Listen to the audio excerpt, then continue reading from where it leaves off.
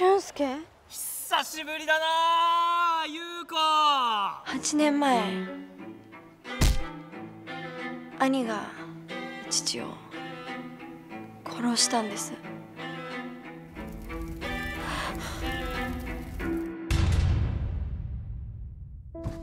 あの時の兄の顔が頭から離れなくてこのまま私だけが幸せになっていいんでしょうか？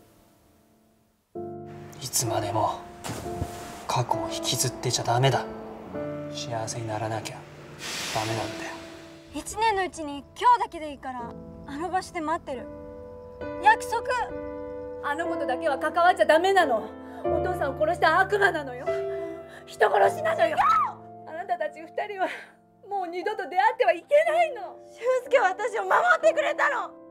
あの事件以来何が本当で何が嘘なのか私本当のことが知りたい。真実を知るべき時が来たのかもしれない。思い出した？あ。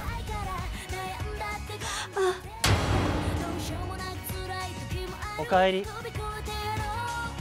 ただいま。